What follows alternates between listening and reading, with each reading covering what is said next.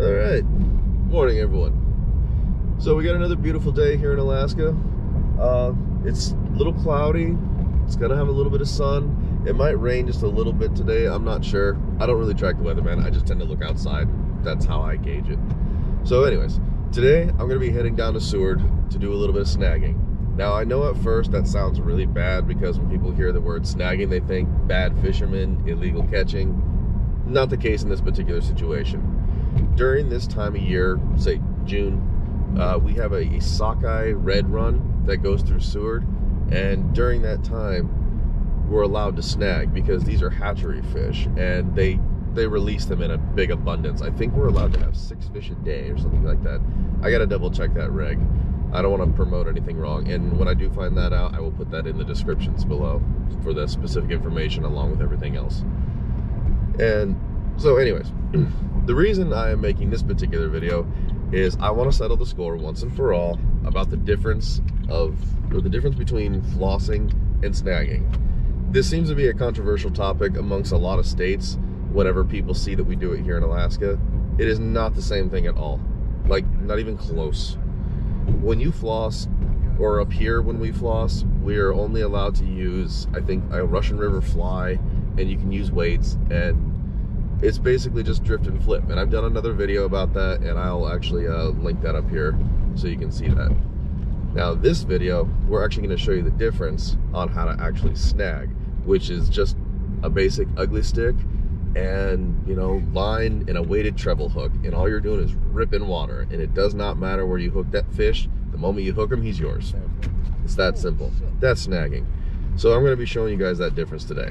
So, I got to hit the road, got to grab some more supplies and I'll get back to you.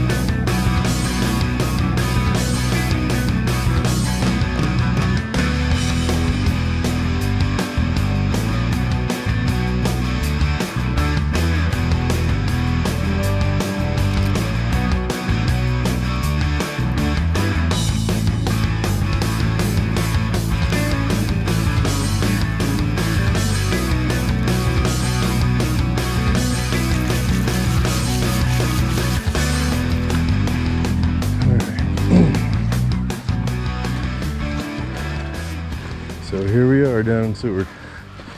So we take the path down the old Nash Road, and then you come over here by the McDonald area. Then out here you'll see all the culverts that people are trying to fish on the incoming tide. If we're lucky, some of the seals will be pushing them up. That'll make it a little easier to fish. Generally speaking, you want to fish the outgoing tide because as the tide's lower, the culverts become revealed and the fish get tightly corralled inside of those culverts making them a little easier to pick off and snag. But we're only here for a little bit today, so we have to fish the incoming high tide. And you'll see from all the people in the video that the water's just everywhere, and so are the fish. So, wish us luck. Okay, so the first technique here that I'm going to show you guys, and I'm just doing this with the basic little drawing doodle thing. This ain't no fancy Hollywood production here. So, this technique, this is going to be the flossing. You know, drift and flip. Real simple stuff. Now, let's put a riverbank on here. Okay, there's our water. And we're going to put some fish in the water because, you know, we need fish to catch. what else is there to life? I'm just kidding. Ooh, okay, and then we're going to put us out here. We're fishing. Smiley face. Now, when you floss, what you're doing is it's just like a it's like a lassoing kind of a cowboyish type of thing because you're literally doing all one fluid motion. But here's what it looks like in the water with your hook. Now you throw that line out and we're gonna throw it out about one o'clock. Now what happens, it's gonna drop there and you're gonna feel your weights bouncing on the bottom like this.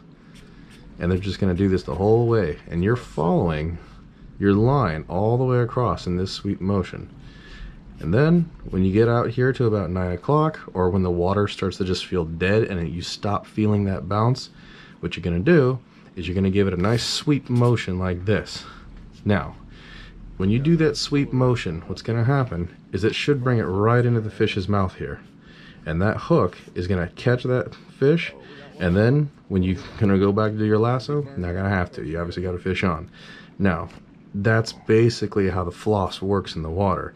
And if you didn't catch a hook, you just throw it all the way back out there at one o'clock and you start the whole process over again. As you can see from here, it's basically just a giant lassoing circle you're doing in the water until you hit your fish. That's flossing. Now, here's the big difference between that and snagging. Now, let's do the whole thing again. Let's get our riverbank on there with the directional water. And we'll get our little fake clock back on there. And this one, we are Snagsville. Okay, we're gonna put some fish. Now, a lot of people hear snagging and they think that's terrible. Well, in June, we've got this whole thing down here in Seward where snagging is completely fine, completely promoted. We're basically just using a big treble hook and we're going after reds. If you're wondering what that looks like, it's real simple. I'll probably just put up a little animation, but that's basically the hook. Just a giant weight on it, nothing fancy. Now, what we're gonna do, oh, I forgot to draw us back in the picture. Smileys, because we're fishing. okay. Now, here's what your line's gonna look like, or here's the path the line's gonna take in the water. Now, when you're snagging, you're throwing that line way out there because you're trying to sweep through the culverts, or maybe you're just going high tide. You're just taking all the water. What's gonna look like, since the water is rushing, you're gonna pull it down and you're gonna yank on it. You're gonna reel your line in because you're gonna have all that slack now, and this thing's gonna drift a little bit, and then you're gonna yank again. Well, bam, there's your fish. Now, that's pretty simple, right? Because all you're doing is you're just holding it out there and you're sweeping back as hard as you can, or generally just a good pull on it. Because it doesn't matter, you're not trying to get the fish in the mouth, you're just trying to get that giant treble hook anywhere on that fish. And that's a legal catch here. And when you do hook them up, you know, fish on. That's pretty simple stuff. Now, I'm going to show you what it actually looks like on the water and not just in the goofy little animated diagram. Well, like I've had a buddy down here giving me feedback for our page and whatnot. People have wanted to know how it's going. And it appears to be going quite well. People out here are catching, even on the high tide. Which is generally harder because the fish have more room to swim around. Nice. Fish on.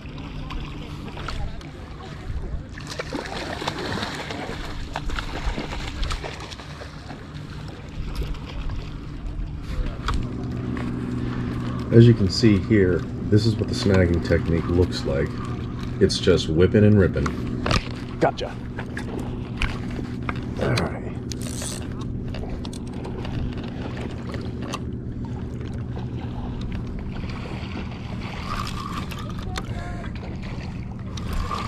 Yep, got him right in the motor.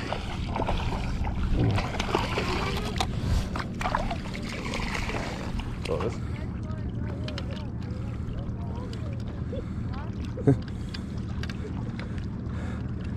You ever seen a fish twerk before?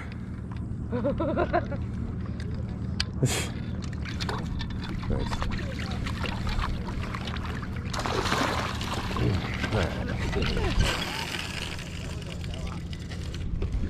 And every now and then, you come across a big one.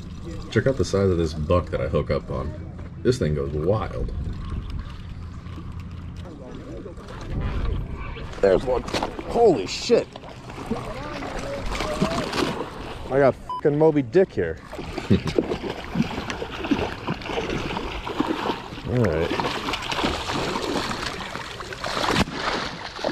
Oh you little bastard. Where'd you go?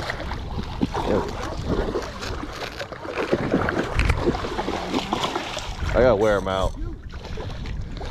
Just do your thing.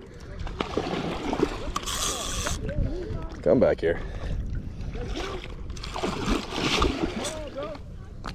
Alright. Yeah, you think that's a big one.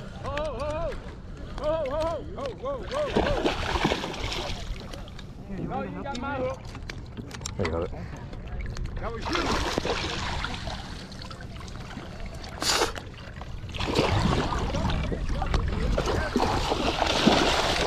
Jesus Christ, that's a big one. That's a big one. Oh boy. Splish splash.